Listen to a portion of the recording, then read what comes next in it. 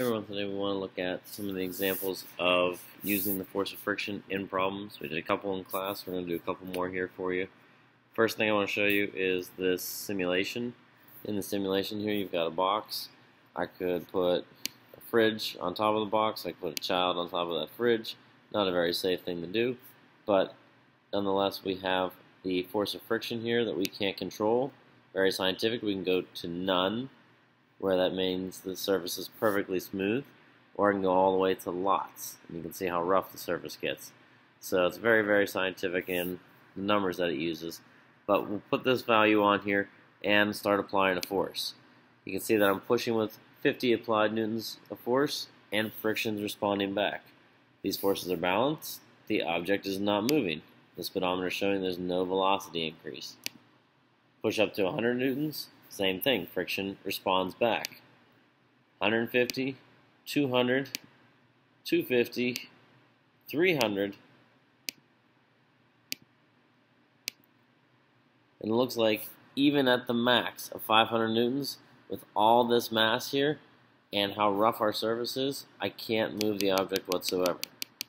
So I'm going to take some things off the object, and we'll add that force back in. 50 newtons, 100 newtons.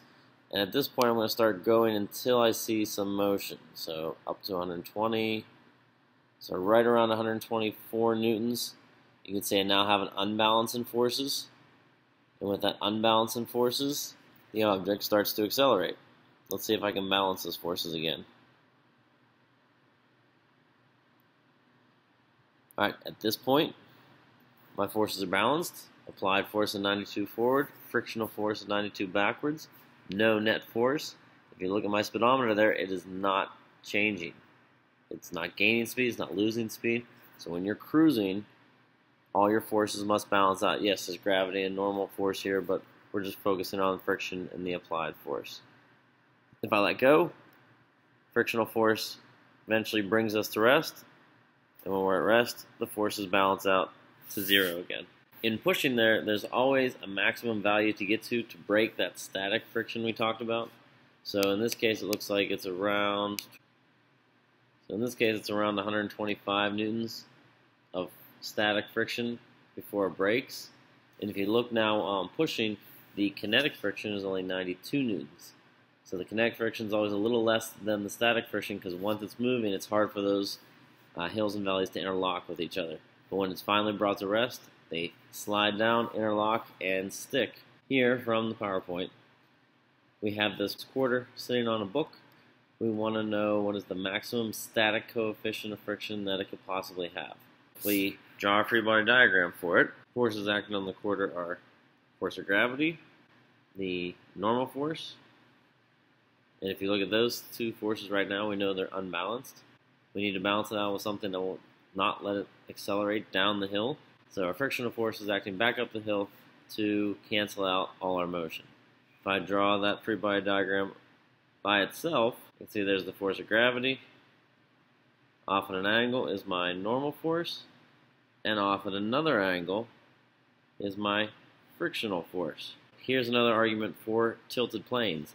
If I tilt the xy plane here, what I get are two forces that lie in the plane and I get one force that's angled. Gravity is the only angled force here. It's the only one I have to actually break into its x and y pieces. So looking at my chart of forces here, I've got the normal forces in the y direction.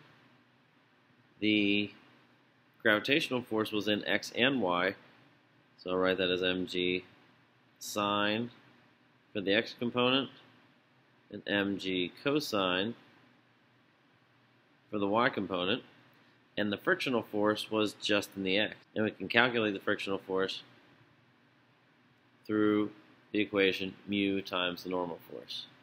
Looking at that scenario, net force must add up to ma, but since we are at rest, both objects are not accelerating, so we can cancel those out to zero. So if I want to solve for the mu, if I want to solve for that coefficient of friction here, I just have to look at my x direction. So you can say that mg sine of theta is equal to mu times the normal force. If I want to solve for mu, I just have to divide over by the normal force. And this is why we now have to worry about the y direction. The y direction is where you can calculate your normal force out. So if you look at that y direction, the normal force must equal mg cosine. So mu is going to be mg sine over mg cosine of theta. And remember, this is the static coefficient of friction we're looking for. And what's common in both are the masses and gravities. So really the mu is just sine over cosine, or tangent of theta is your maximum static coefficient of friction.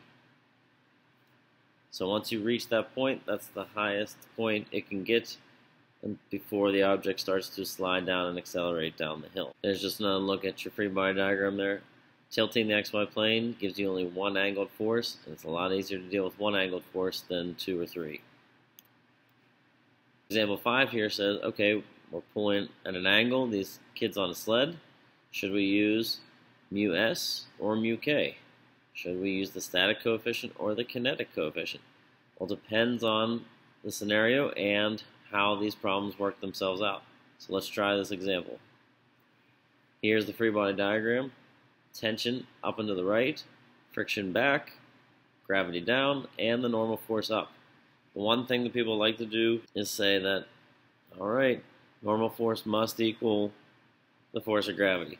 And in this case, that is not true.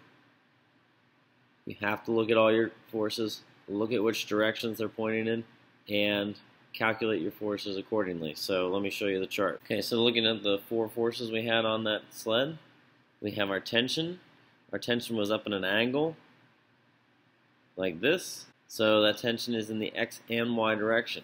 So that means I've got t cosine of theta and t sine of theta in the x and y direction. It means I got to break this up into two pieces here, the x and y. Looking at friction. Friction was nice and easy for us. Friction was straight backwards. So back in the x direction was minus mu Fn, no frictional force in the y direction. Gravity was nice and easy. Gravity was straight down at negative mg. And the normal force was straight up. So normal force in the y direction, no force in the x. So we've broken all our forces into their pieces now. But if we look at the y direction, hopefully when we weren't up off the ground or down into the ground, let's cancel out our y direction and say that we're not accelerating up and down. In that case, the way we can write this is that T sine plus the normal force must equal mg. And this is why you can't just say that the normal force equals your weight. It's the normal force plus this y component here. These two up forces are equaling this one down force. So you have to worry about both pieces up and down. You are actually lifting up off the ground and taking some of the weight off of the ground. The ground is not pushing back exactly how much the object weighs. And if you think about in terms of friction, what that's going to do is lift up the object a little bit and decrease the amount of friction that the ground is trying to hold back on the object. Rearranging our equation down here, you could solve for the normal force. And why would we need the normal force? Because it's over here in the x direction. The normal force will tell us how much friction we have and can we exceed that friction. So the question is, do we use mu s or mu k?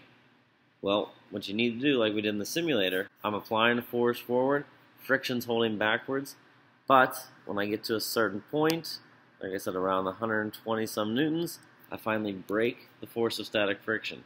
So there's always a maximum static friction value that you have to try and beat. Before you ever know if you can go anywhere yet, what you need to do is calculate the static force of friction max. And to do that, you take the static amount multiplied by the normal force. In this case, normal force was equal to mg minus t sine of theta. So if we're just going to make up some numbers here, let's say the mass of the box is 20 kilograms. Let's say the angle that the person's pulling at is 30 degrees, just to make the numbers nice and easy. And let's give them a pull of 100 newtons. So knowing those things, I can come over here and say that gravity was downwards at 200 newtons. And my tension force is 100 sine of 30 degrees. So sine of 30 degrees is a half. So it's 200 minus 50. My normal force here is equal to 150 newtons. Again, the reason we need to solve for normal force now is because it's in the friction equation. So you take the 150 newtons, let's say that our static coefficient is a half, multiplied by 150 newtons. That means that our static force of friction is 75 newtons. If that person can pull with more than 75 newtons, then the object will start to accelerate. And we won't use mu s, we'll just use mu k.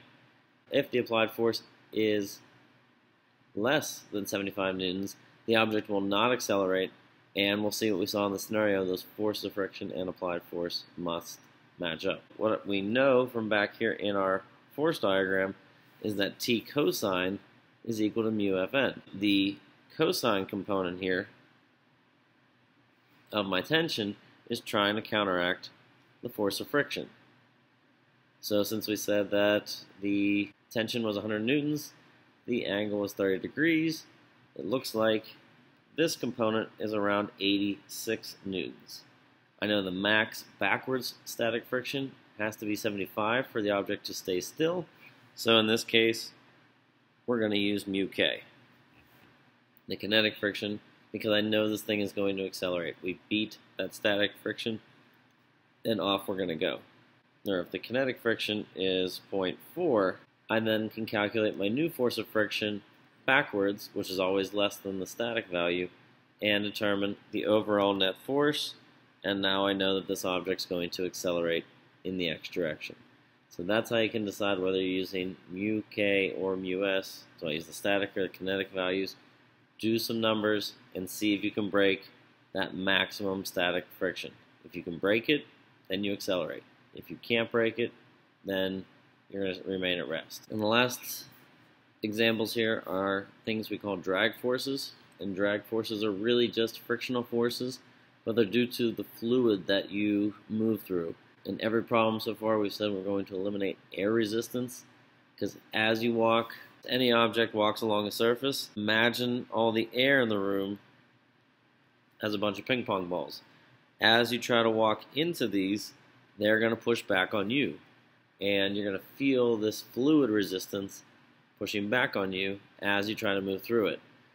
The drag force equation there is B times V to the n power and the n power depends on the speed that you're traveling. Velocity will be squared if you're traveling at high speeds, and it could just be BV if you're traveling at low speeds.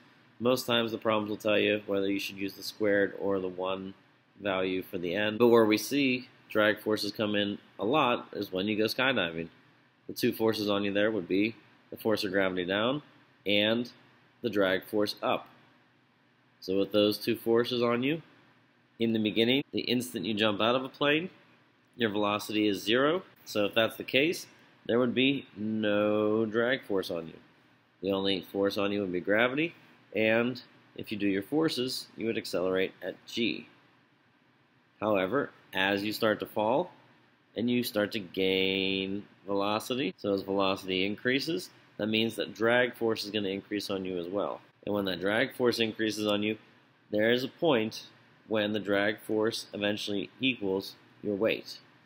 And at this point, you've got balanced forces, which means we no longer accelerate, and we reach something we call terminal velocity. With terminal velocity, we no longer pick up speed, our accelerations terminate, and we go as fast as possible towards the ground. So for humans, that's around 200 miles an hour, depending on your weight, because if this force of gravity is bigger, that means you need a bigger drag force to cancel yourself out. So yes, heavy things do fall faster than light things in air. If we don't worry about the drag force, then no, everybody accelerates at the same rate. But in drag forces, yes, that does happen. So if I wanted to solve for that speed, that terminal velocity speed, I can say the drag force must equal the force of gravity.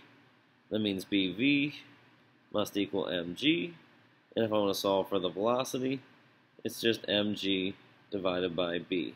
b is the drag coefficient for the fluid that you move through. Again, something they may ask you to solve for, or something a problem would give you if you're trying to solve for that terminal speed. So that is the fastest someone can fall in air. This mg over b. If it was bv squared, yes, you'd have to take the square root of your answer there for high speeds. The problem should tell you whether you're doing high or low speeds. And the last thing I want to do here with drag forces is show you how to set up a problem as a differential equation. With the drag force, we can have drag force up as you free fall and gravity is your force down. And since we're unbalanced, there's still acceleration downwards. That acceleration is no longer g because of this drag force up, so we're accelerating less than 9.8 each second, but we're still picking up speed. And if you would write this out, I could say the drag force minus gravity makes us accelerate downwards. So the drag force is BV. So in some of the problems they may say, please set up a differential equation, but do not solve the differential equation. What that means is what is this definition of acceleration? Acceleration truly is the change in velocity per time. So now this is an equation that's set up as a differential. I have BV minus mg on the left, and on the right I've got negative m times dv over dt. dv being the change in velocity with respect to time. If you wanted to solve for velocity, I'll let you try to tackle that on your own and help you out in class to show you how we can solve for the velocity as a function of time.